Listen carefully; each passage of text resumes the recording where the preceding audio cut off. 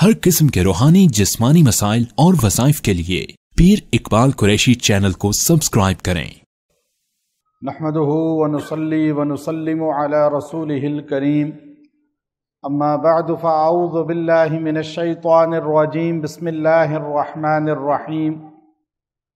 वमा खलक़तुल जिन्न वल इंसा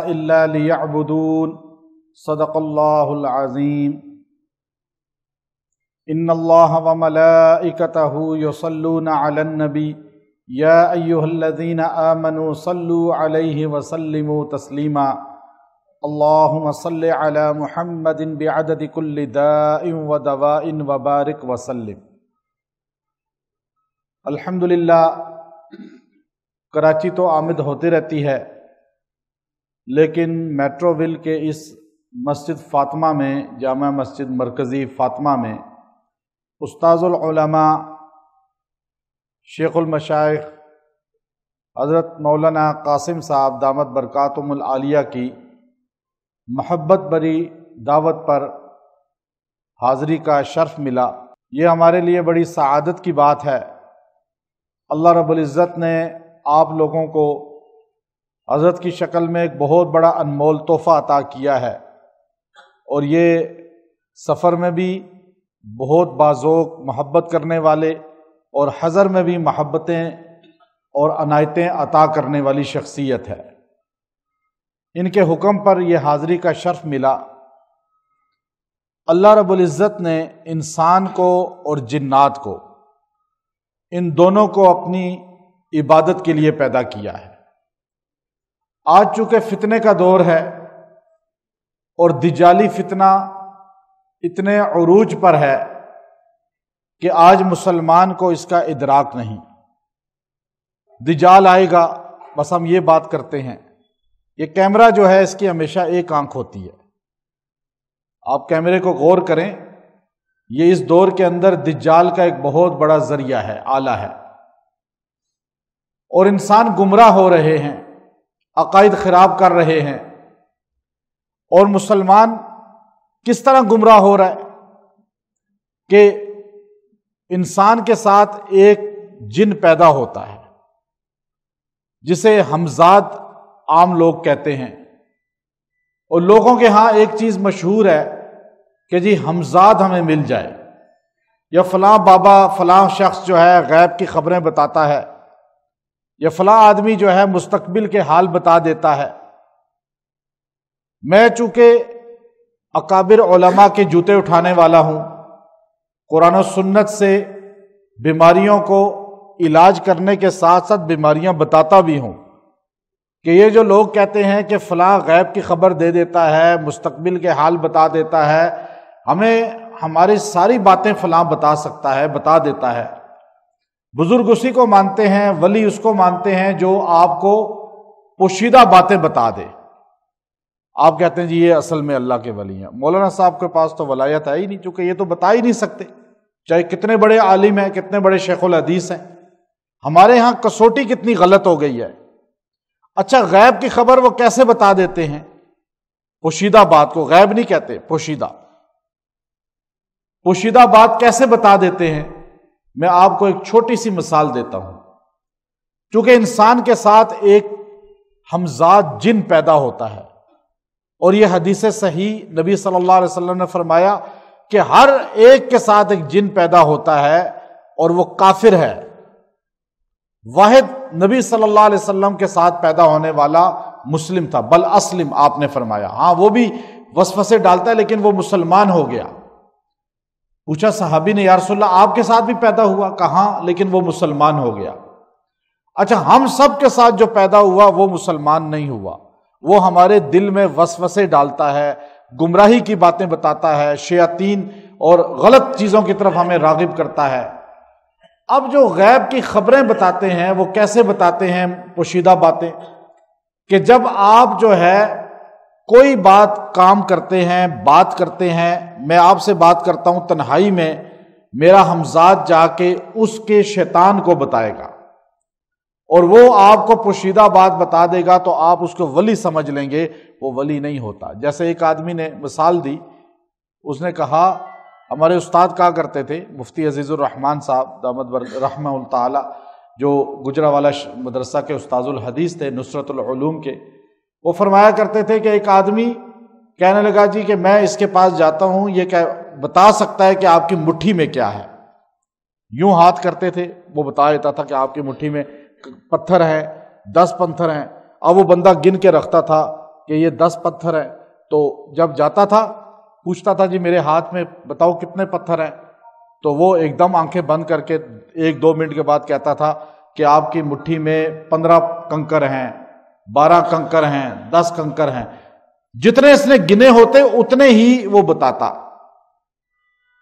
अब ये बड़ा हैरान हुआ कि ये बंदा कैसे बता देता है पोशीदा बात। तो एक दिन उसके उस्ताद ने उसको कहा कि आपने अब पत्थर गिनने नहीं है, यूँ उठाने और उसको कहना है, अब बताओ इसमें कितने हैं। उसने यूँ जाके कहा, अब बताओ इसमें कितने हैं। तो वो आँखें बंद करता रहा। बड़ी देर के बाद वो कहने लगा, मुझे नहीं पता चल रहा। क्यों? पहले जब ये गिनता था तो इसका हमजाद, जिन्नात, शैतान, वो भी गिनती करके उसको बता देता था। मुसलमान को एक चीज़ समझनी चाहिए कि असल में इंसान के अंदर बीमारियाँ क्यों पैदा होती हैं?